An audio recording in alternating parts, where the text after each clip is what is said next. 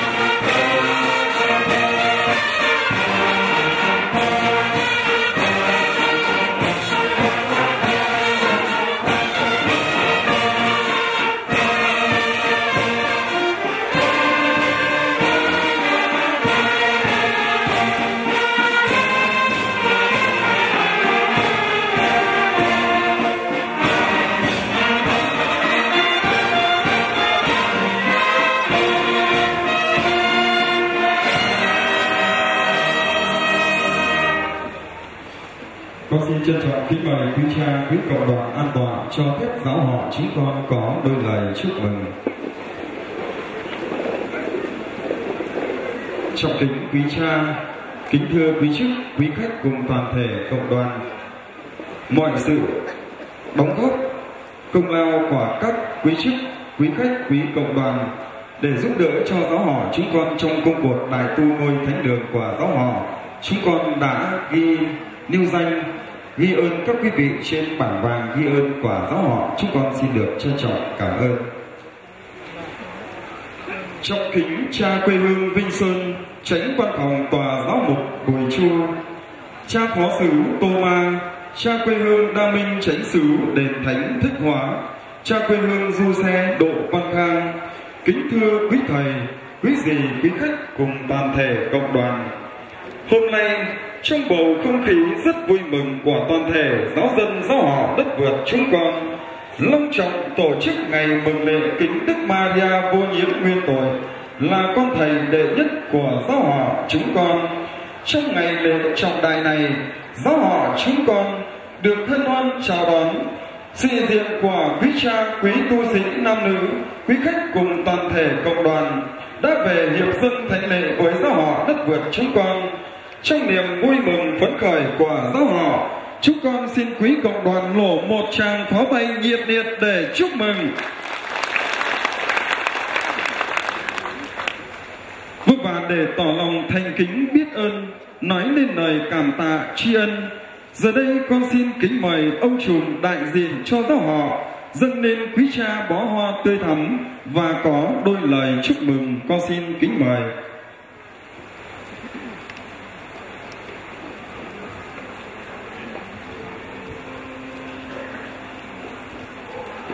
Tôi xin quý cộng đoàn dành một tràng pháo tay nhiệt liệt để chúc mừng.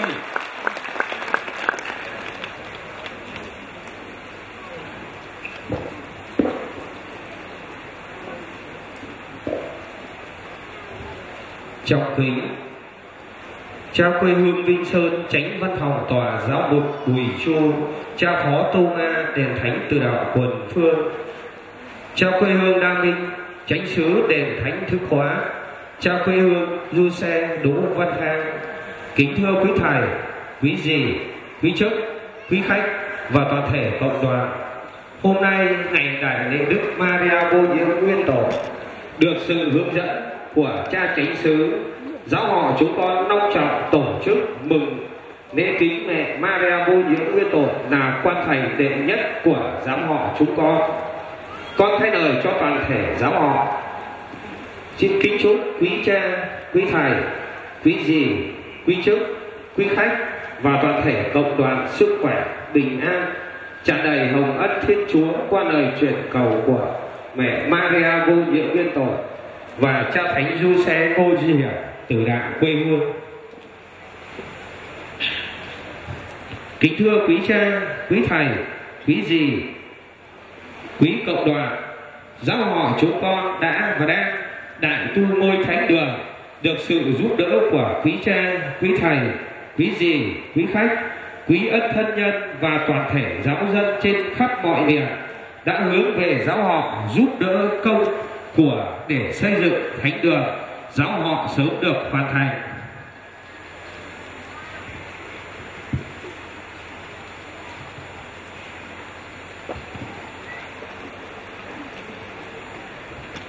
Chúng con cũng xin chân thành cảm ơn Ban giám trương đền thánh từ đạo quần phương cùng các hội đoàn của giáo sứ. Và chúng cảm ơn ban hành giáo của sáu giáo họ, ca đoàn giáo họ đông cường, ca đoàn giáo họ đông biên, ca đoàn giáo họ Santi hội kẻ đồng giáo họ đông cường, hội kẻ đồng giáo họ đông biên, hội kẻ đồng giáo họ Santi hội kẻ đồng giáo họ giáp nội, hội kẻ đồng giáo họ an lộc hội kèn đồng giáo họ nam biên, hội kèn đồng giáo họ an cường giáo sứ giáp nam, hội chống giáo họ an lộc, thầy giáo dạy nhạc ngọc cẩm công ty tổ chức sự kiện trung kiên cùng toàn thể các ban ngành, đoàn hội trong giáo họ đã nhiệt tâm, nhiệt tình tham dự chầu chúa cung linh quan thầy và hiệp dân thánh lễ trọng thể này. Chúng tôi cũng xin chân thành cảm ơn các cấp chính quyền đã tạo điều kiện giúp đỡ giáo họ tổ chức mừng kính lễ quan thầy được long trọng. Một lần nữa con thay lời cho cộng đoàn giáo dân trong giáo họ kính chúc quý cha, quý thầy, quý dì và toàn thể cộng đoàn sức khỏe, bình an trong Chúa qua lời chuyển cầu của mẹ Maria vô nhiệm thánh tử đạo quê hương con xin kính chúc.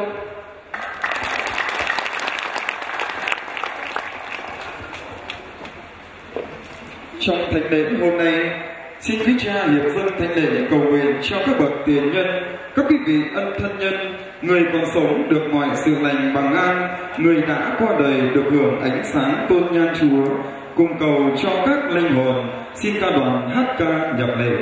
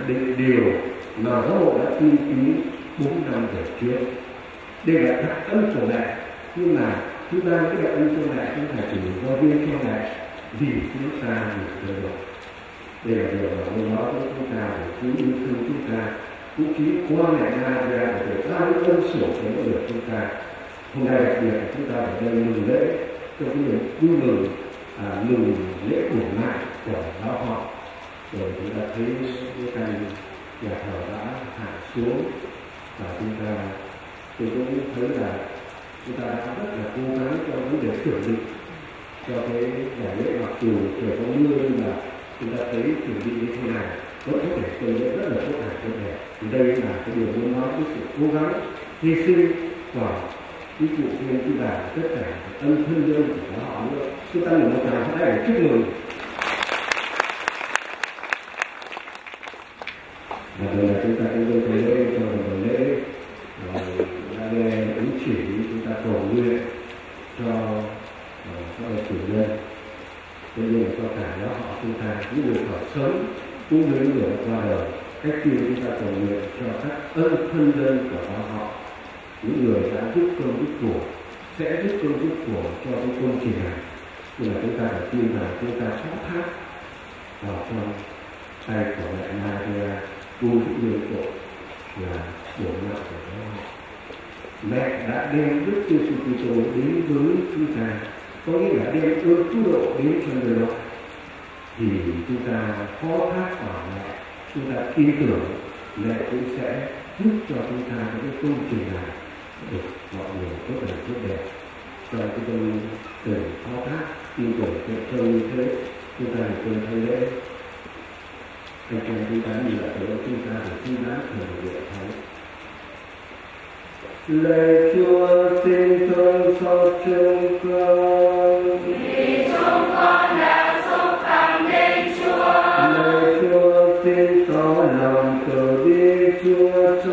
cho chúng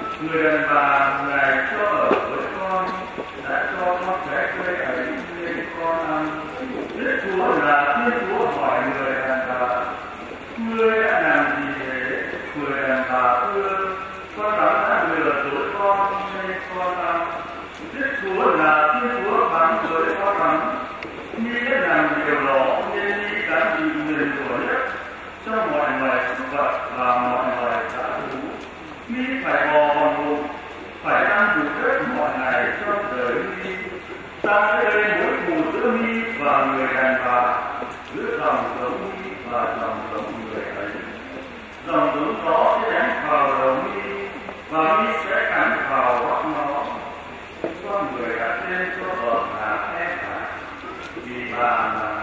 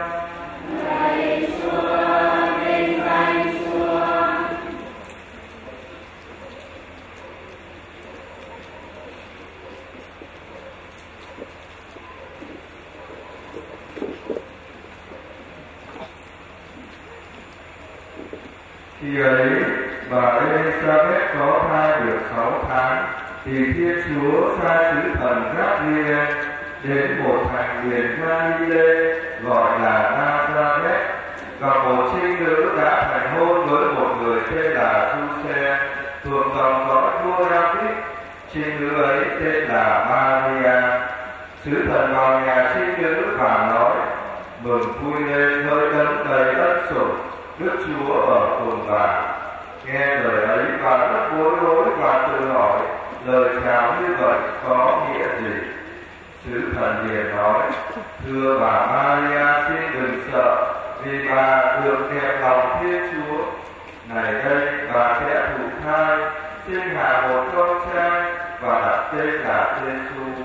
Người sẽ lên cao cả và sẽ được gọi là con đấng tối cao. Đức Chúa là Thiên Chúa sẽ ban cho người ngai và vua David tổ tiên người. Người sẽ chỉ vì nhà gia cóp đến muôn đời và triều đại của người sẽ vô cùng vô tận. Bà Maria thưa với sứ thần, việc ấy sẽ xảy ra thế nào vì tôi không biết đến việc vợ chồng. Sứ thần đáp, Thánh thần sẽ lượn xuống trên bà và quyền năng đấng tối cao sẽ quả bóng trên bà. Vì thế đấng thánh sắp sinh ra sẽ được gọi là con Thiên Chúa. Kìa bà Elizabeth, người họ hàng với bà tuy già rồi mà cũng đang cưu mang một người con trai. Bà ấy vẫn chỉ mang tiếng là hiếm hoi mà nay đã có thai được sáu tháng. Vì đối với Thiên Chúa không có gì là không thể làm được. Bây giờ bà Maria nói với sứ thần, vâng tôi đây là nữ tỳ của Chúa, xin người thực hiện cho rồi lời sứ thần nói, rồi sứ thần từ biệt ra đi.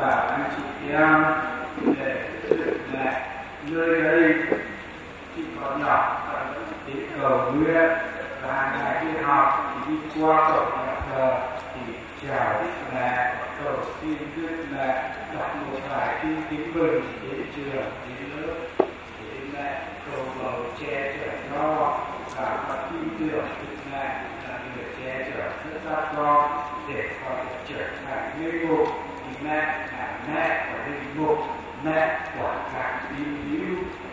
Nhưng mà hôm nay, giáo họ chúng ta cùng toàn thể giáo hội, mừng kính mẹ vô nhiễm nguyên tổ quan thầy đệ nhất của giáo họ, của địa phận bùi chiêu chúng ta.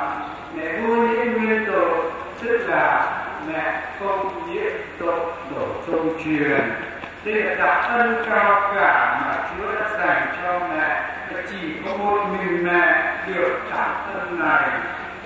Nhưng ý điều mẹ vô nghĩa là có liên quan, mật thiết và rất quan trọng với đời sống chúng ta trong đời sống tiết kiệm bài phúc ơn mà chúng ta vừa nghe, tôi lại Maria chị hai trong hoàn cảnh rất đặc biệt lớp mới đạo trong kinh thánh.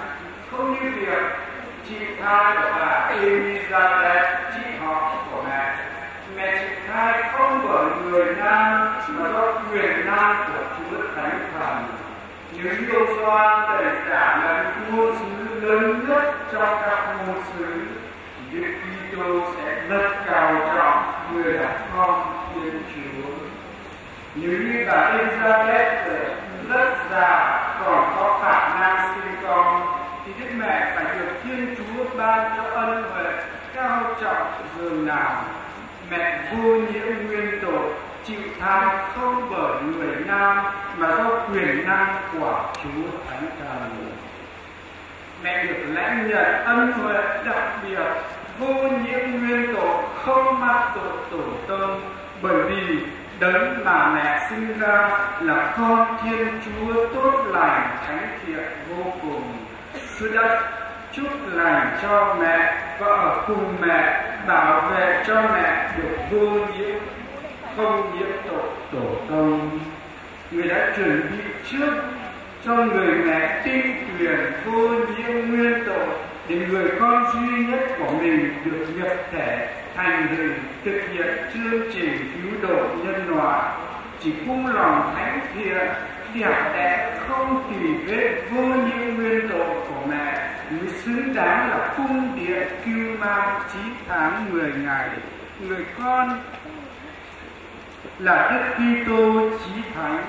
Nguồn gốc mọi sự thánh thiện, chỉ cung lòng vô nhiễm nguyên tội của mẹ. Của trinh nữ có phúc hơn mọi trinh nữ thì lời Chúa hứa ban đấng Messia, đấng cứu độ nhân loại mới được thực hiện. Mẹ vô nhiễm nguyên tội cũng được hiểu qua lời chào đầy ý nghĩa thần học của thiên thần Gabriel trong bài phúc âm hôm nay.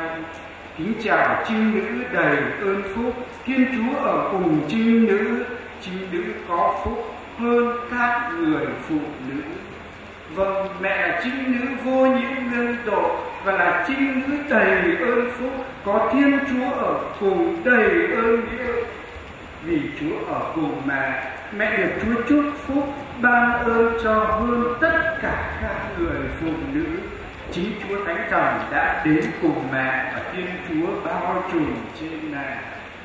Mẹ được dư đầy ân huệ như thế vì mẹ khiêm nhường thẳng sâu, luôn lắng nghe tiếng Chúa, ao ước thực hiện ý muốn của Chúa và cầu mong lời Thiên Chúa hứa ban đấng Messia cho dân Chúa nhanh được thực hiện. Mẹ đã hoàn toàn tự do nói xin vâng nhất định là tôi tới của Thiên Chúa để chương trình cứu độ của Thiên Chúa được thực hiện nơi mẹ.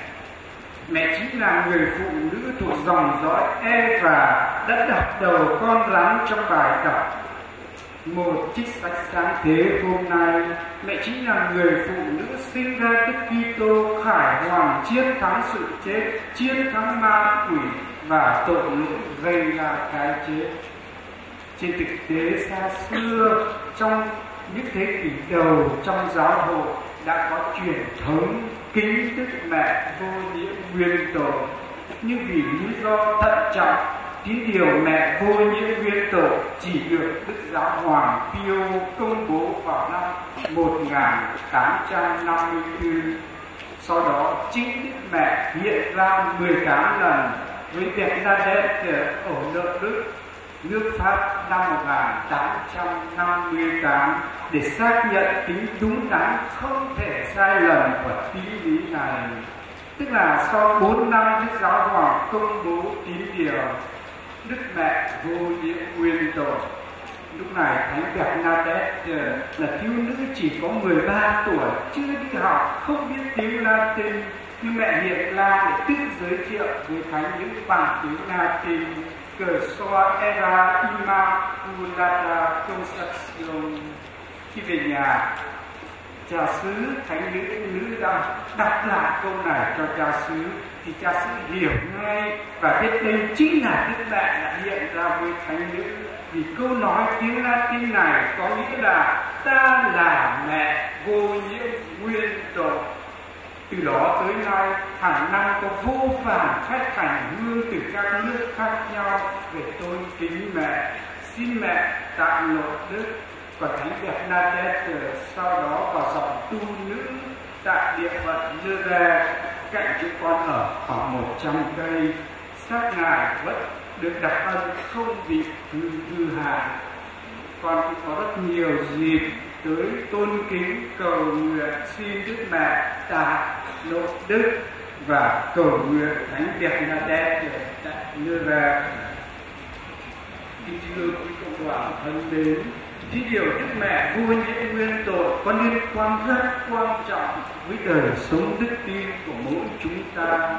Mẹ chính là hình ảnh giáo hội thánh thiện tiêu truyền. Mẹ là người mở đường và loan báo cho chúng ta với tình yêu của Chúa.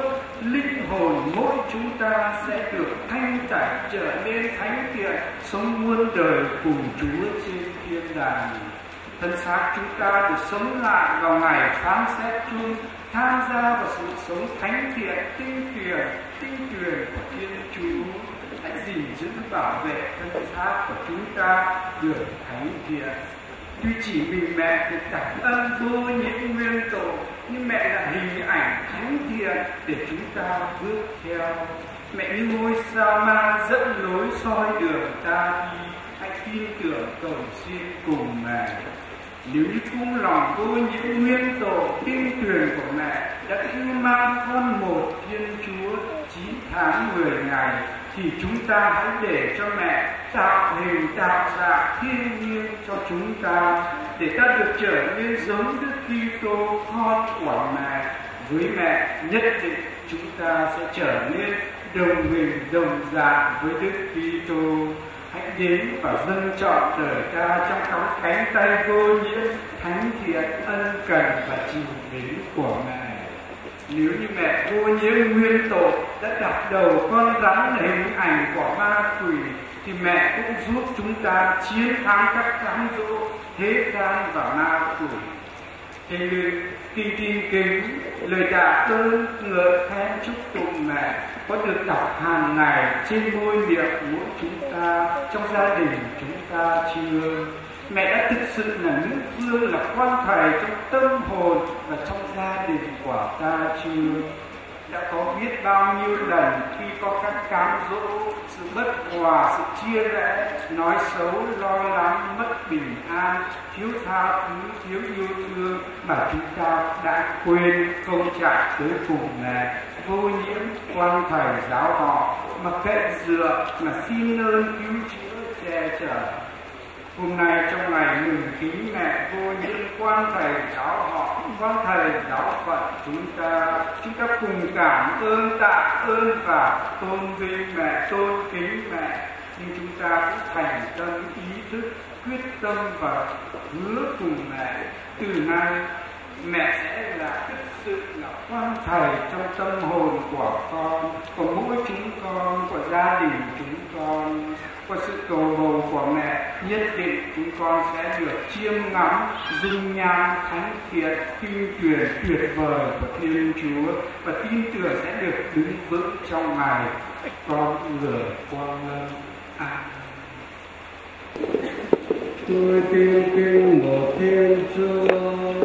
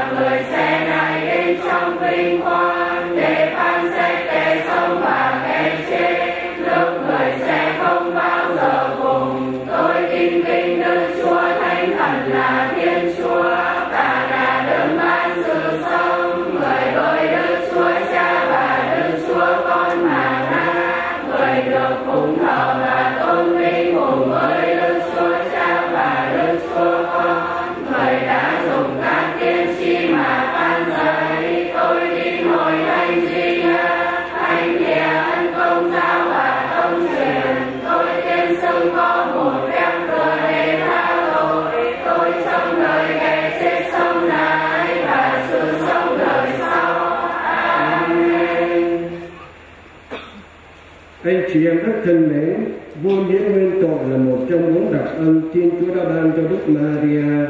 Khi hiện ra tại lộ Đức, mẹ đã xác nhận điều đó. Chúng ta cùng cảm tạ Chúa và hân hoan dâng lời cầu xin.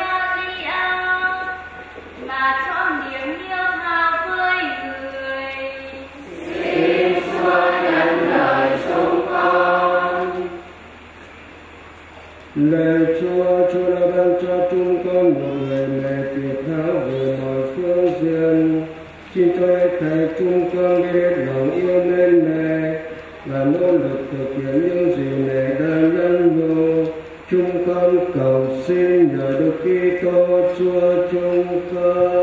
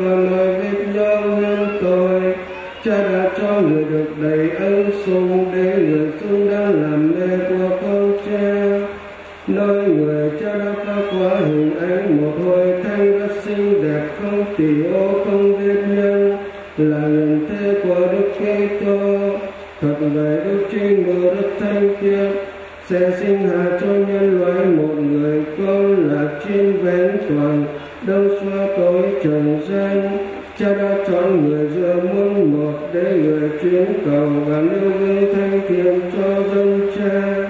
Vì thế hiệp với các thiên thần và các thánh, chúng con vui mừng ca người cha và tung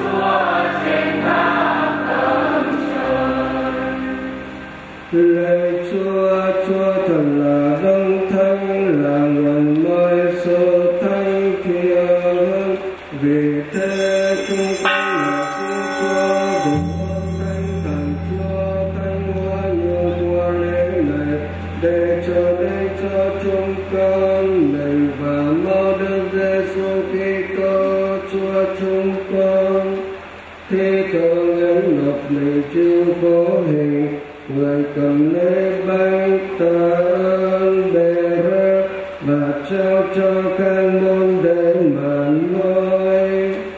Tất cả các con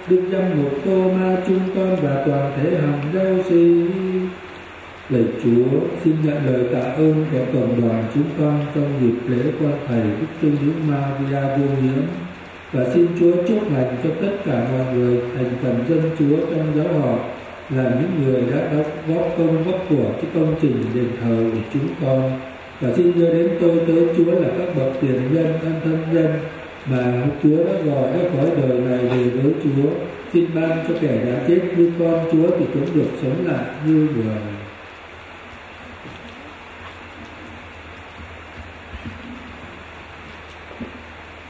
Xin Chúa cũng nhớ đến anh chị em chúng con đang an nghỉ trong niềm hy vọng sống lại và mọi người đặc biệt các bậc tổ tiên, ông bà, cha, mẹ và thân bằng quyên thuộc chúng con đã ly trần cho tình thương của Chúa xin chơi thay được vào lần ánh xa tôn nhan chúa.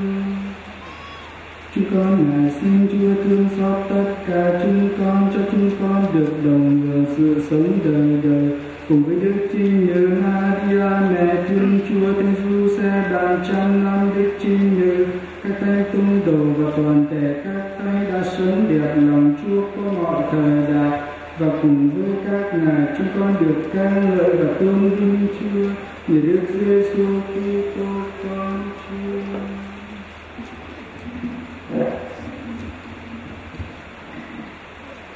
Chính nhờ người với người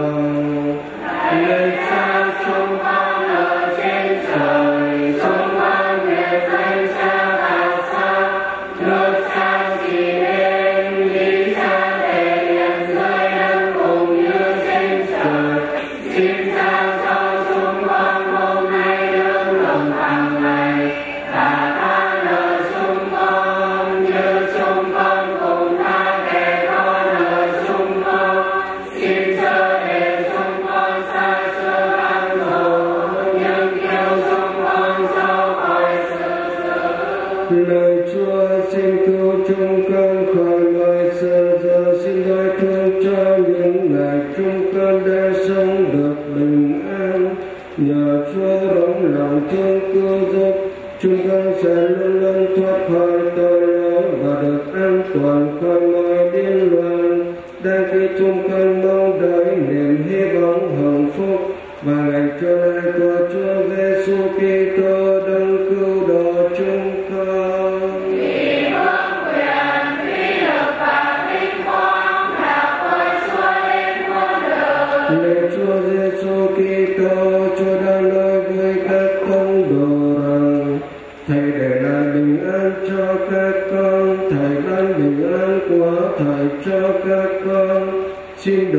tội chúng con như xin nhìn đến đức tin của hội thánh chúa. Xin bài thương ban cho